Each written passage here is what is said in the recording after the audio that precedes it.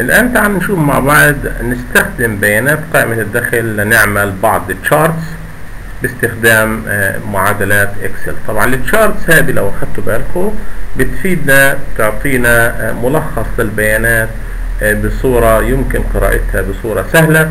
تعال نشوف كيف ممكن نعمل إدراج لشكل بيان. طبعا نيجي هنا اول حاجة بحدد البيانات اللي عايز أدخلها عندي. وبروح على إدراج في إدراج بقول له بدي أعمدة خدوا بالكم بروح على عمود وفي أعمدة بختار أعمدة بعطيني الشكل اللي أنتم شايفينه هان. باجي بنزله تحت في المكان المخصص له وبعد ما أجيبه للمكان المخصص له بحاول أعبيله المكان تبعه. آه ولو أخدتوا بالكم البيانات صارت مظبوطه مظبوطة تحت هنا. ضل علينا إيش نسوي بس؟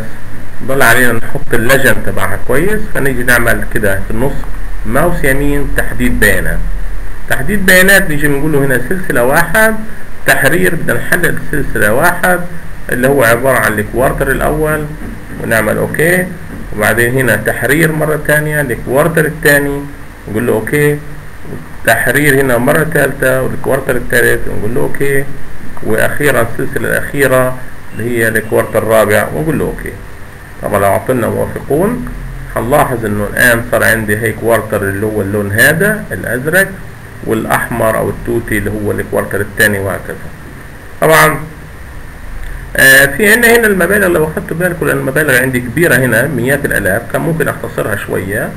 وبالتالي أجي هنا أنا أقول له بدي آه ماوس يمين وأقول له هنا آه تنسيق مرة تانية آه هنا تنسيق المحور. في المحور في عندي هنا وحدات العرض أنا بدي أقول له يعطيني إياهم بالآلاف. طبعا لو قلت له موافق. هنلاحظ الآن اختصر الألف وأظهر لي كلمة آلاف. فهيك صار عندي الشكل كتير كويس.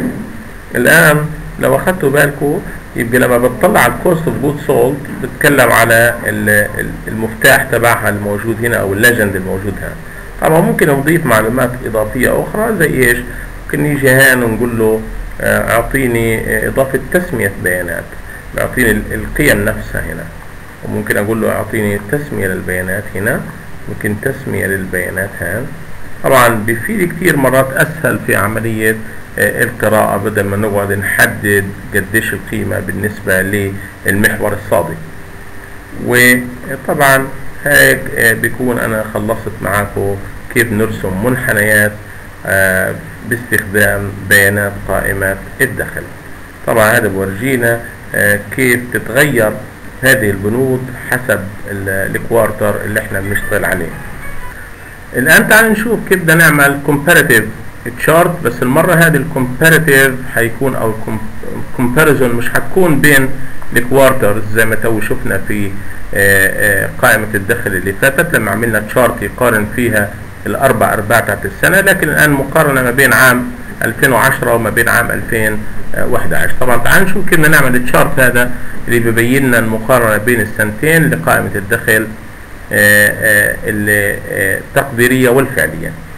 طب تعال نختار. زي ما اتعلمنا تو إحنا بنحدد كده البيانات اللي بدنا ندخلها في القياس وبعدين بنروح إدراج. في إدراج بقول له عمود وبدي العمود. اللي أنتوا عارفينه وباجي من هان بختاره وبنزله في المكان المخصص للشغل تبعنا وباجي بعمل كده وبختار كده هذه. طبعا وبيعطينا بعد كده إمكانية لأنه إحنا نسحب زي هيك.